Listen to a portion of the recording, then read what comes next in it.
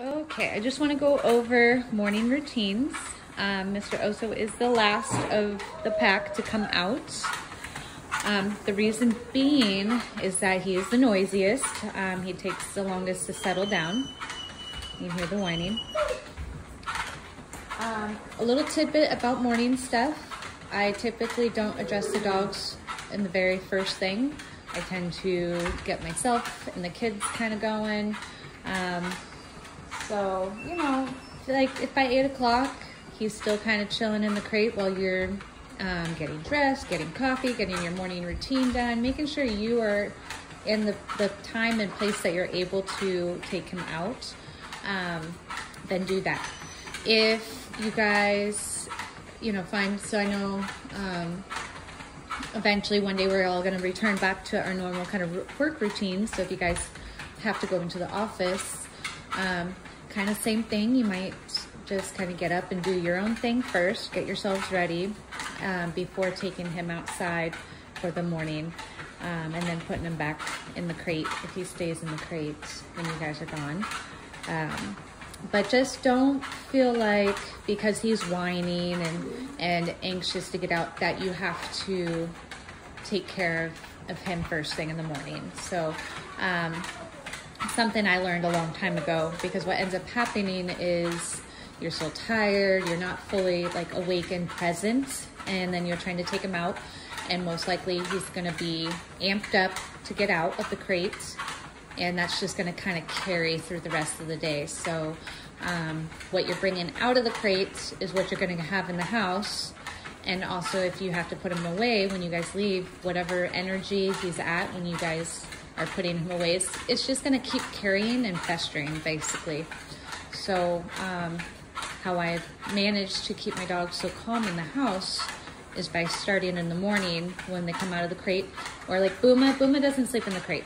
Uh, she sleeps on her bed, but she stays on her bed until I call her over to me to let her get her water and go outside. Um, so that's just kind of what I'm finding that's working the best. You guys kind of create and cultivate um, the routine that you want, but keep in mind whatever's best to help his state of mind is actually going to be helping you guys long term as well because you're practicing as much calm as possible and it carries over into his adulthood um, and it just becomes habit and routine. So less less frustration. But dogs are individuals just like people, and we all have our off days where sometimes he might just be a little more amped than normal. And you just kind of work through it the best you can. So I'm going to approach the crate. Um, I typically don't need to have an e-collar or anything on to do this. And this is something that we practiced from day one um, before he learned any of the tools. Um, so I do suggest you doing this without tools. This is very much so kind of relational um, practice getting him to calm down just based on your guys's uh, intentions and energy. It's, um, you know, tools are fantastic help, but we don't always need them, uh, and sometimes we rely a little too heavily. Uh, that being said, if you do find that you need it to kind of help get him more settled a little bit faster, so creating um, down stays, so when you say down and and you need the help of the e-collar, then you can use it. What you will have to do is set the e-collar up um, the night before. So before he goes to bed, he's gonna have it on him. Uh, that way, you know, you don't have to try to get into the crate to put it on him and then try to do this whole process. So have it set up uh, beforehand um, and then go from there. Um, and pretty much what you do would be asking for a down stay instead of uh, what we're gonna go through right now. So he's in a down. He's a nice, calm, very calm, relaxed state of mind. Finally, um, after now that all the other dogs are settled, he starts to settle. Definitely feeds off of the energy. Um, so I'm going to walk up to the crate, and the expectation is that he's going to maintain this calm state of mind and just kind of be relaxed. He starts to get up and he starts to want to paw at the crate door or lick at the crate door and stuff, I'm just going to back off again. And so this is where, um, this is why time is really important, making sure you have the time to do this and to practice it as much as possible. So walk up. Good job. So that's fine. I'm just gonna kind of wait. Good job, buddy. But if he was to get up, like that. Whoops, sorry, bud. But when he gets up, I just wait. So I got close enough. If he really can't settle down, then I'm gonna back off again and try again.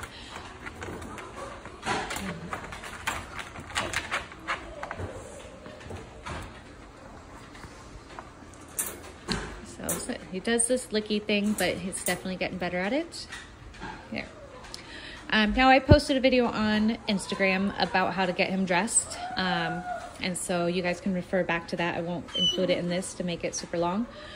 Um, but that's basically it. And then I just kind of wait, like if he can't, so he's, you can see he's amped up and shaken and ready. Nope. I'll just close the door.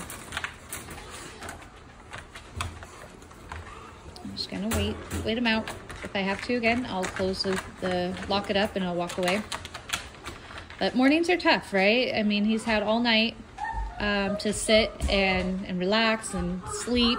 And so just like kids, they just come, they just wake up fully rested and ready to go. Um, so that being said, the very first energies that we give our dogs in the morning, it's either going to um, keep adding to the already like excited high energy, highly, you know, uh, recharged dog, or we can kind of just keep them at that level and then from there start draining our dogs. So, um, you know, by doing activities and exercise and um, things that are going to help bring them to a calmer state of mind. So, usually by the end of the day, like dogs around here, um, you know, they go to bed calm. They go, they fall asleep at the end of the night, and they're just, they're done. They're good to go. They've had all of their needs met. But in the beginning of the day, it's different. Everything's recharged. So, what type of energy you give them in the in the morning matters. Such a talker. Shh. Hey. I just tend to interrupt that kind of stuff. My little some kind of a noise. You can snap your fingers, or I do, I do the little shh thing. I kind of, nope, hey, shh, something like that.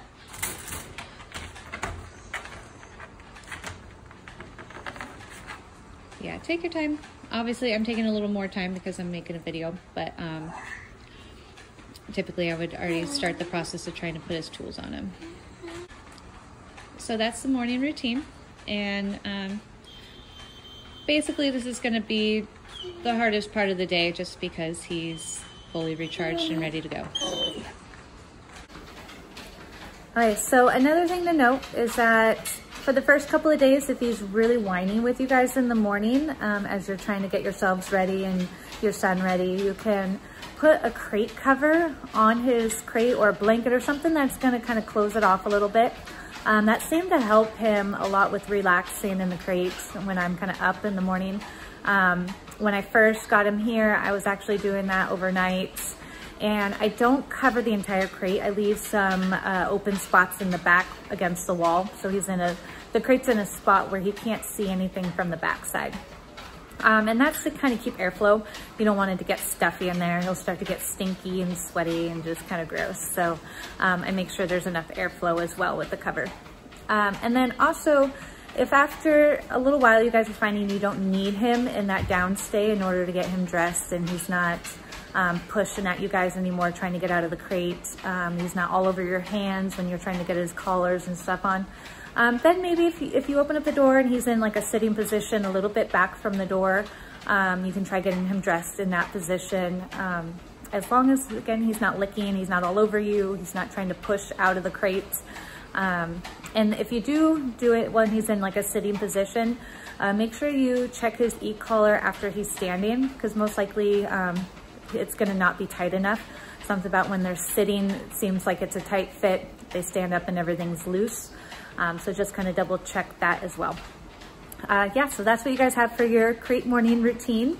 Um, it kind of is similar to the rest of the day, but during the, the beginning of the day is where I find um, the most excitement and the harder or, or more time consuming part of getting dogs out um, than throughout the rest of the day. So if I have to go to the grocery store and then I come back, yeah, he's amped up but it definitely seems to be a little less because I try to make sure he gets enough outlets throughout the day. So when he does go in the crate for some rest um, and processing, it's not like the overnight where he's sitting for you know a long amount of time, um, just resting up. So, um, so anyways, have fun with that. Um, let me know if you guys have any questions.